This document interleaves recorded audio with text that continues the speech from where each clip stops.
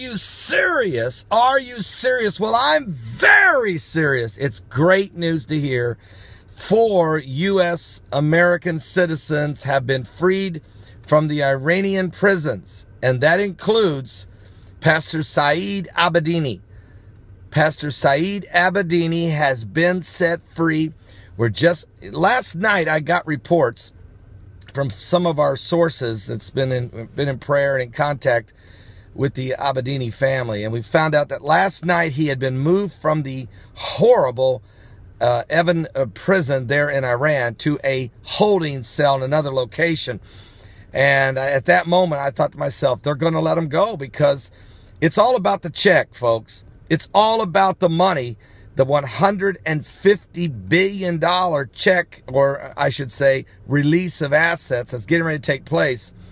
And at the last second, I'm sure the Americans have said to the Iranians, look, we got one more favor we got to have. You got to give us our four citizens back. You got to before we let this money go.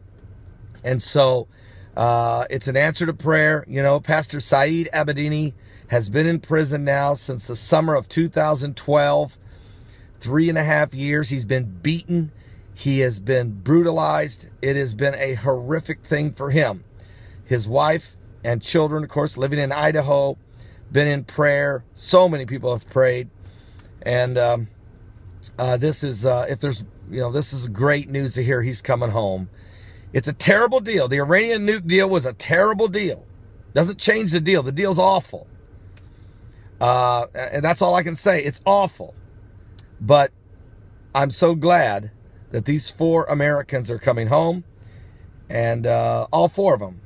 Thank God for all four Americans being freed, including the uh, the journalist and. But uh, Pastor Saeed Abedini is free, okay, and he's coming home. So God bless, praise the Lord, and thank you for your prayers. Staying vigilant, praying for our brother in the Lord. Thank God. Thank you, Jesus. Amen.